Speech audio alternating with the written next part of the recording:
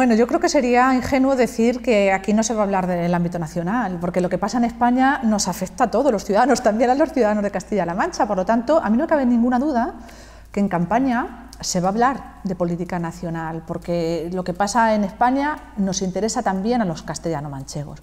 Pero también es cierto que de lo que se, habla, de lo que se trata o de lo que se decide en el mes de mayo, en el último domingo del mes de mayo, en las elecciones autonómicas y municipales, es de hablar de quién queremos que nos gobierne en la comunidad autónoma y quién queremos que nos gobierne en cada uno de los municipios. Eh, y intentaremos eh, trabajar en esa línea, en la coherencia de decir, venimos con un bagaje, que es la gestión que hemos llevado a cabo en los últimos años, y este es nuestro proyecto, y vamos a hablar de cómo queremos seguir trabajando por Castilla-La Mancha, por todos y cada uno de nuestros municipios.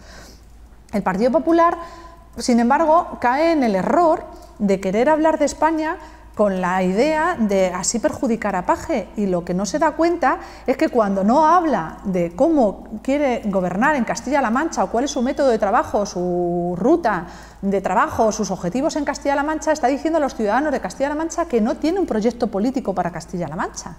Ese es el mensaje que está dando. En cualquier caso, nosotros vamos a hablar de lo que le importa a los ciudadanos. ¿Y lo que le importa a los ciudadanos es España o es Castilla-La Mancha? Pues mire, es todo. A los ciudadanos de, Castilla-La Mancha les importa a todos, no son unos seres eh, encasillados, o, no, no, les importa todo. Y quieren que les vaya bien a sus hijos, a su familia y quieren ser felices. Y por eso necesitan a un gobierno como el de Paje, que le diga las cosas y les trate como adultos y que además dé la confianza y la estabilidad como para saber qué hay que hacer para que nos vaya bien. Y todo eso se conjuga además con la honestidad de un político que cuando ve que algo no le cuadra o que no conjuga con su forma de entender la política, lo diga. Cuando Emiliano García Paje dice algo mm, distinto de lo que prevé hacer el gobierno de España, no está siendo desleal a nadie, está siendo leal a sí mismo, cosa que yo creo que dice mucho como político, y está siendo leal a los ciudadanos a los que representa.